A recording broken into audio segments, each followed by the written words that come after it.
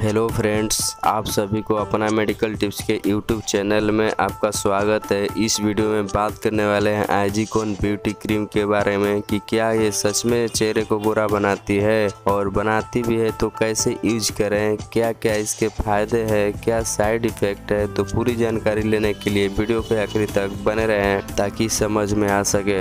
तो फ्रेंड्स, सबसे पहले मैं बता देना चाहूँगा कि अगर आप मेरे चैनल पर नए हैं और आपको स्वास्थ्य से संबंधित या दवाइयों से संबंधित जानकारी लेनी है तो मेरे चैनल को सब्सक्राइब कर दे ताकि आने वाला मेरा हर वीडियो सबसे पहले आपके पास पहुँचे। तो फ्रेंड्स अब बात करते हैं आईजीकोन ब्यूटी क्रीम के बारे में। ये क्रीम काफ़ी ज़्यादा पॉपुलर हो रही है। इस क्रीम को मेल हो या फीमेल हो, कोई भी यूज़ कर सकता है।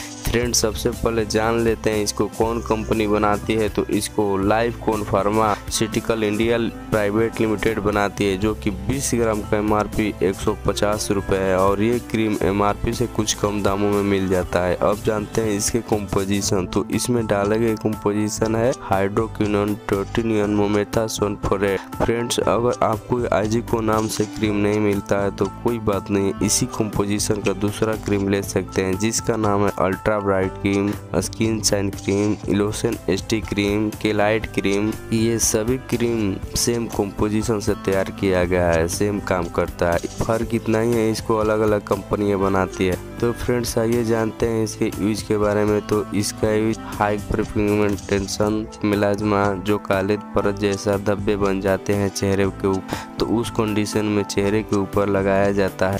डार्क सपोर्ट में भी लगाया जाता है। मिलाजमा हो या एक ने पिंपल में भी लगाया जाता है, या चेहरे के ऊपर किसी तरह का दाग धब्बे, फोड़े फुंसी में भी इसको लगाया जा सकता है। चेहरे के सारे दाग धब्बे हटाकर सुंदर और चमकदार बना देता है, या महिलाओं के प्रेगनेंसी के बाद जो मार्क्स रहते हैं, उस पर भी लगाया जा सकता है। फ्रेंड्स ये क्रीम चेहरे के सारे दाग धब्बे हटाकर स्किन को चमकदार, मुलायम, सुंदर और गोरा बना देता है। क्योंकि हमारे शरीर का एक अंग चेहरा ही है जो सारे लोग देखकर अट्रैक्ट रहते हैं और पसंद करते हैं। इसीलिए हर कोई ना कोई किसी क्रीम का इस्तेमाल ज़रूर करते हैं। फ्रेंड्स मैं आपको बता देना चाहूँगा कि इस क्रीम को गोरा होने के लिए ज़्यादा लंबे समय तक यूज़ ना करें। तब तक ही यूज़ करना है। जब तक आपका चेहरे की काले धब्बे, मिलाजमा एकने पिंपल डार्क स्पॉट या किसी तरह के दाग धब्बे रेडनेस रिमूव हो जाता है यानी हट जाता है तो इस क्रीम को लगाना बंद कर देना है। और इसको बंद करते समय अचानक बंद नहीं करना है। जैसे कि आज आपने लगाया तो कल मत लगाइए, दो दिन बीच करके लगाइए,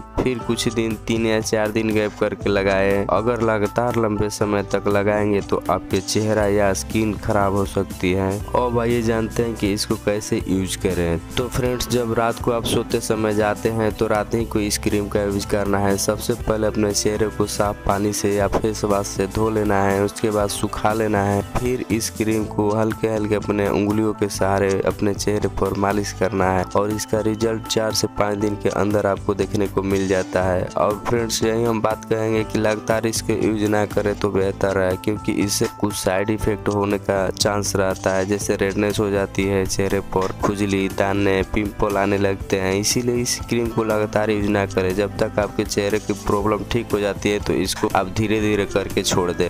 फ्रेंड्स वीडियो के आखिरी में बताना चाहेंगे कि अगर आपको मेरा वीडियो पसंद है तो मेरे वीडियो को लाइक कर दें शेयर कर दें और चैनल को सब्सक्राइब करना ना भूलें।